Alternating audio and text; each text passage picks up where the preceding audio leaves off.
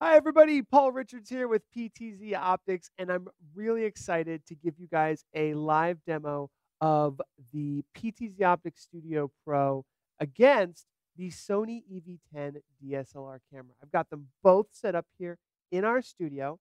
This is the Sony EV10. This is a very popular DSLR camera that's often used for live streaming, and we've got it set up via HDMI into a capture card we also have the PTZ Optics Studio Pro here, side by side, both set up in 1080p at 30 frames a second with HDMI capture cards into my software. So let's go ahead and jump into this test footage side by side comparison. All right, here we go with side by side test footage comparison of the PTZ Optics Studio Pro and the Sony EV10. Now I'm going to hold up a color reproduction chart here so that we can show the colors side by side here and show the autofocus of coming back and forth between a subject that is close and then a subject that's a little further away. And so just to give you a little idea, these cameras are both being recorded into vMix. We are recording these in 1080p at 30 frames a second and we're recording them the exact same time. So the video is exactly you know the same thing that you're seeing on the screen. Now, one of the things that I want to do is I want to zoom the PTZ Optics Studio Pro all the way out and then zoom it all the way in to give you an idea of the 12x optical zoom that the Studio Pro does have. So let's go ahead and do that. And then the Sony EV10 Ah, there we go. So that's fully zoomed in. That is a 12x optical zoom that comes with the Studio Pro. And then we're going to go ahead and zoom it all the way out to give you guys a feel for the Studio Pro. Um, and let's, yeah, let's go all the way out just to give an idea. Now, we're going to do the same thing with the Sony EV10. This camera features interchangeable lenses. So there's lots of different lenses that you can use, but they're all pretty much manual, is, is the most of them. So let's go ahead. We're going to zoom all the way out. I have someone helping me with this. We're going to zoom it all the way out. There we go. It's a manual lens. This is a I'm going to I'm going to put the notes to this lens. This is one of the stock lenses that we bought it with from B&H Photo. And then we'll go ahead and zoom it all the way in. This just gives you an idea of these two cameras in action. All right. So there's our test footage. Again, I'll hold this up to give you guys a little example of these two cameras, mainly set to auto. Um, there are there was some tuning that we did to get these two close, but uh, mainly in auto here. So you're seeing the autofocus and the color reproduction of these two cameras in a studio setting. Right. So I will let you guys be the judge of that test footage. And I'd like to talk a little bit about the differences of these two cameras. So I've got a little PowerPoint uh, that's going to go side by side over these two cameras. So let's take a look. Now, these are very two very different cameras, but they are often used for live streaming, and that's what we're going to kind of focus on here. The PTZ Optics Studio Pro is a 1080p camera that can go up to 60 frames a second, or of course 50 frames a second for our friends in Europe. Now, the Sony camera can go up to 4K at 30 frames a second. So it is a 4K camera. There's a big difference here, but um, you know there's some there's some differences that we'll go over. The, these both of these cameras actually have a Sony image sensor. So that's why when you look at the test footage, they actually look quite similar. Now, with that being said, the PTZ Optic Studio Pro has a 1 over 2.8 inch CMOS sensor. The Sony sensor is actually in millimeters. It's a 23.5 um, by 15.6 millimeter APS-C CMOS sensor. So that is a bigger sensor, and it will perform better in low light. Now, from a lens perspective, the PTZ Optics Studio Pro has a 12x optical zoom. So that's an integrated optical zoom. You don't have to purchase a separate lens. With the Sony EV10, you have an interchangeable lens. So it's very flexible if you need to do vlogging or photography and you like to switch your lenses. The demo that we showed was an f8 10 to 18 millimeter lens with the camera. So it has a little bit of zoom capabilities, not quite as much as the integrated 12x lens on the Studio Pro. Now, from a video output perspective, this is a pretty significant difference here. We have HDMI, USB C, and NDI on the Studio Pro. In fact, the Studio Pro has the ability to send out IP video on your network, uh, both locally for NDI, RTSP, and then it also can do direct streaming to YouTube and Facebook with RTMP. And then it also supports SRT, which is the Secure Reliable Transport Protocol. On the Sony camera, we have an HDMI output. We have a USB output, which is limited to 720p uh, video at 30 frames a second. Um, and then we can record directly to an SD card. So that is where the photographers, the vloggers who need to go mobile with the built-in battery, the SD card option is, is quite nice. Now, the power options for the Studio Pro, it can be powered over Ethernet. So for a dedicated uh, installation or a studio or a setup where you're running a power over Ethernet network switch and you have multiple PoE devices, the Studio Pro really shines here. It can be powered over USB and it can be powered with the included power supply.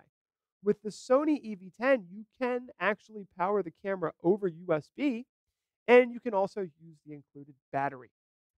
Now, from an audio perspective, these both of these cameras support a 3.5 millimeter audio output. The main difference being with the Studio Pro, that audio can be sent over HDMI, USB, and IP, meaning NDI or any IP connection over your network. The Sony EV10 can embed that audio over USB or the SD card. And I haven't tested HDMI, but I assume it can do audio over HDMI as well. So, from a unique perspective, um, unique feature, the Studio Pro has an included light. So, while it doesn't perform quite as good in low light as the larger sensor Sony EV10, it includes a light to accommodate that. Uh, it supports portrait mode. So, uh, you can see right now, actually, the video I have is in portrait mode. Uh, there's a little uh, switch on the back to switch that, and it's quite interesting in a lot of different scenarios. And it, the Studio Pro also supports direct streaming to YouTube and Facebook. On the Sony EV10, it has a flip out touchscreen. It can do some really cool 120 frame per second video recording. Uh, and it also offers a lot of other features for photography and vlogging that the Studio Pro does not. Now, I want to go over all of these. Now, keep in mind, you know, this is this is. I would love to hear from you guys in the comments about the video quality and the low light performance and the color reproduction. But essentially, you know, the Studio Pro is very much suitable for live streaming, video conferencing, whether you're doing like Zoom meetings and things like that, and YouTube videos. The reason why I say that is because it does up to 1080p video, right? Perfect for video conferencing, Zoom meetings, YouTube videos, things like that. The Sony EV10 is a 4K camera, and it can do 4K really well with uh, recorded video and with uh, photography. It can do really high 24 megapixel pictures. But from a USB connectivity perspective, it can only do 1280 by 720. So it's really good for post production, it's good for photography, good for vlogging. Now, from a low light perspective, the Sony EV10 is going to win. So if you have very low light scenarios, the Sony EV10 is probably the best camera. But the Studio Pro includes a light and is generally designed for places where you have controlled lighting um, you can see that in a controlled environment like our studio, you're going to get similar quality video from this camera. Now, you saw the color reproduction. Uh, the Studio Pro obviously doesn't have the same color depth as a large sensor DSLR, but for your live streams that are being compressed, your video conferences, and your YouTube videos, you know, this is going to be a very similar scenario with a much easier to use camera. Now, the Sony EV10 has a larger sensor and a higher bit rate in a lot of what it does, so its color reproduction can be superior. From a bokeh perspective, a lot of our customers are asking about bokeh. With the interchangeable lenses and the ability to really dial in the bokeh on the Sony EV10, yes, you will get a better bokeh.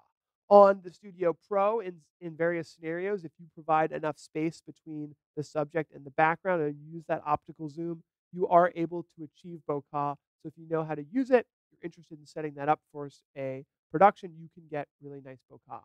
It also has a TOF time of flight focus system that allows it to do that really quick focusing that you saw in that test footage.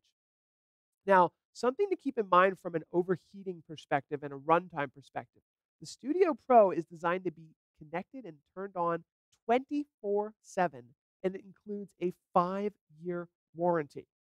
The Sony EV10 has multiple reports of having overheating when people are using the HDMI and the USB at the same time. There's some workarounds to have a dummy battery inside the Sony EV10, but in general, your battery life for the Sony EV10 is about two hours. So keep that in mind, and we'll look at some of the use cases side by side here. In summary, the Studio Pro is going to be your best, kind of most reliable situation for large, you know, live events and performances, where especially if it's going to be installed permanently. This Sony EV10 will be best for photography, vlogging, and home live stream. So I wanted to take a look at just a couple situations here.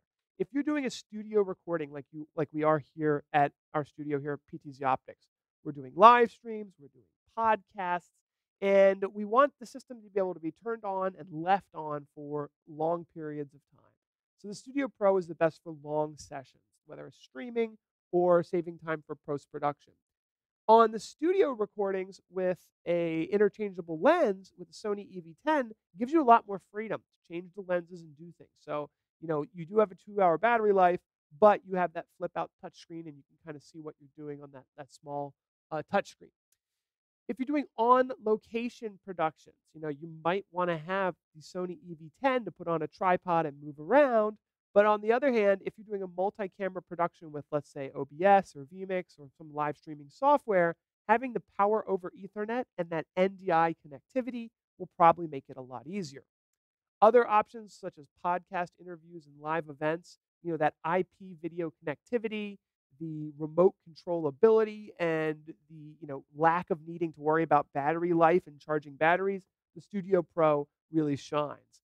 On the Sony EV10 side, Again, that interchangeable lens, the ability to move it and rotate it. Because these are so different of cameras, you know, you probably might need both for these different scenarios. Just to give you a little heads up on how we recorded this all, the test footage was recorded in vMix. Those videos were MP4s at 16 megabits per second. And that is how we did the test footage. Now, to end this, I want to show you guys a Studio Pro that we have in our studio just to kind of give you one final kind of uh, little test footage here. I've got a Studio Pro right in front of me in our podcast studio, and this camera is actually set up to do the outro of this video. So um, I'm going to go ahead and show you where I'm at. This is where I've been recording this session here. I've got a PTZ Optics Studio Pro right here, which is roughly 12 to 15 feet away from this chair. I'm going to cut to that shot and just show you the, the Studio Pro and how it's set up with this 12x optical zoom lens.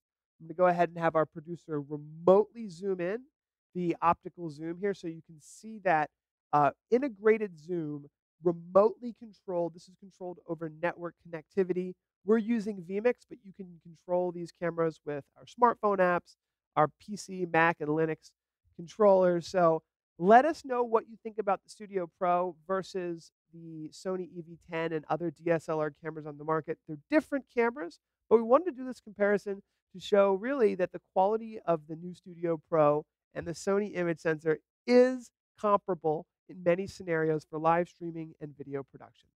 Let us know what you think. Give us a like if you want to see more videos like this. Don't forget to subscribe to our channel, and we'll see you in the next video.